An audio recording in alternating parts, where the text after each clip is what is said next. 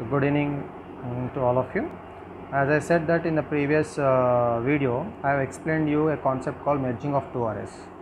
So I thought you all have done it, mm, and still I am going to explain you. Those who did not understood that concept, I am explaining you that clearly. So if you take from the previous example, so how many arrays we require here? One array A, one array B, and one array C. So that is the reason that in the requirements we require three array variables that is A of 30, B of 30, C of 60. Why did I write C of 60? Because C array must be bigger than A and B. Merging means these two arrays we are copying into C means it should be bigger. So that is why.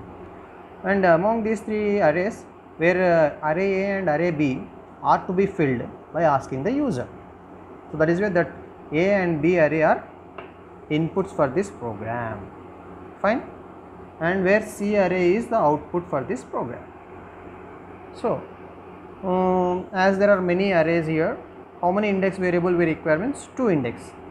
And uh, remember one more thing, as we have 3 array variables, uh, 3 index variables, as if we have 4 array variables, 4 index variables, that is not the case actually.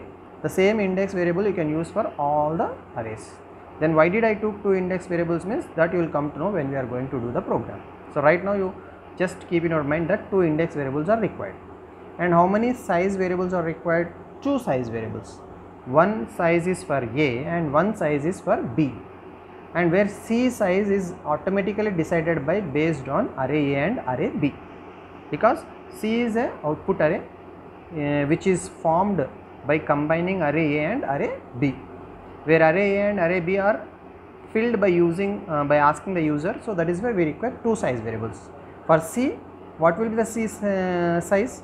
m plus n because n elements of A are copied into C and again m elements of B are copied into C means the size of C will become n plus m. So, we do not need a separate size variable for C. So, this is the requirement of our program 3 array variables, 2 index variables and 2 size variables. Come on start the program. Uh, how to declare array int A of 30, B of 30 and C of 30 sorry C of 60 and two index variables and n comma m. All are of integer data types you can declare in one line. Next we will read the size of array A. And how to read the size of array? Printf and scanf. Next we will read uh, elements into array and how to read? Already we have done 2 3 programs. I think you understood the same statement we are going to write. Printf enter percentile d elements into array a comma n. Next by using for loop we will read the elements into array. For i is equal to 0 i less than n i plus plus scanf percentile d address of a of i. With this the array a will be read into the uh, memory. Next we have to read the size of array b. Enter the size of array b. Then the size of array b is represented with m. So we will scanf we will write scanf for m then afterwards again we have to ask enter percentile d elements into array b. That is uh, how many elements means m elements. Again for i is equal to 0 same. This is for reading elements into array b. So i have read size of array a elements into array size of array b and elements into array b. Now we have to apply the logic. So at the time of uh, explanation in the previous video i said what is your logic means? First copy a values into c and uh, again second copy b values into c. So, and uh, while copying I also shown when you are copying a values into c values the index variables are same. And from where you stopped it means uh, this copying will be stopped when it, i reaches to 5 na from there itself you have to copy the b elements. And when you are copying b elements there are different indexes. That means uh, 0th index in b should be copied into 5th index in c in c na? That is where here we require two different index variables so, while copying a uh, to C we require two index variable because the indexes are different, but I did not took uh, two index variables while copying A elements into C into C because index variables are same, indexes are same na? 0 to 0, 1 to 1. So, while copying A to C I require only one index variable because same indexes, but when I am copying B to C uh, 0th index of B must be copied into 5th index of C. So, the indexes are different. That is where we require two index variables here. Uh, i index i'll use it for c and uh, a fresh j index i'll use it for b.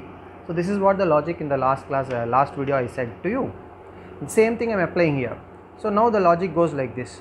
Uh, from uh, first you have to copy elements of a into c. From where you have to copy? zeroth index or not?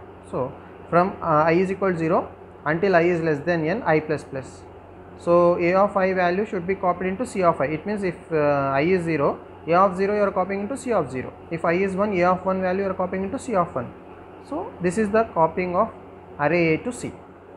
So next uh, we are applying the logic of copying b to c. So when you are copying from b to j uh, b to c you are using a different index variable that is j. So j is a vari uh, index variable which i am representing it for b array. B array index starts from where? 0 and how many elements? Less than m elements. And uh, every time you have to increase your j index. It means 0th index afterwards first index after second. Similarly 0th index I have to copy into 5th index now. How you are going to get 5th index means here already you have used i and i when i index uh, reaches to 5 you stopped. That same i am using here. Continuing so similarly when j is increased i should also be increased. I initialized j but I did not initialize i you see. Because I am using the previous loop i whatever the previous loop i is representing from there I am continuing. It means uh, here i value will be continuing from 5 according to previous loop.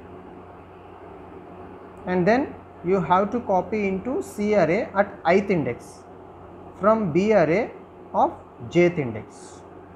It means j value will be 0 and i value it means b of 0 will be copied into c of 5 and again your uh, j will be increased to 1 and i will be increased to 0 it means you are copying b of 1 to c of 6 so in that way it will repeat.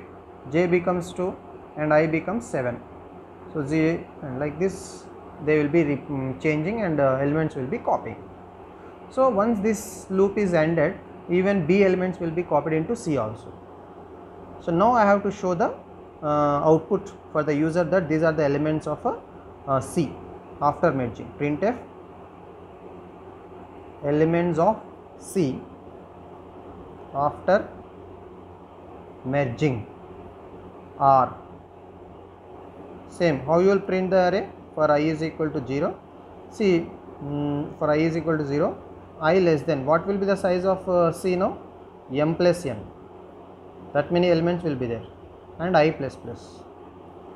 Printf percentile d slash t comma c of i that's all. This is the proof. And the output will be like this. Enter. Size of array A. So if I give 5 then it will ask me enter 5 elements into array Then it will I will give some values like this 2, 4, 1, 8, 3, 1, 2, 3, 4, 5. Then it will ask me enter size of array B. Enter size of array B then I will give 3 then it will ask me enter 3 elements into array B. Then I will give some uh, 6 12 13 then it will show me elements of array C after merging R. What are that? These elements 2 4 1 6 2 4 1 6 3 6 12 13 this will be the output. Thank you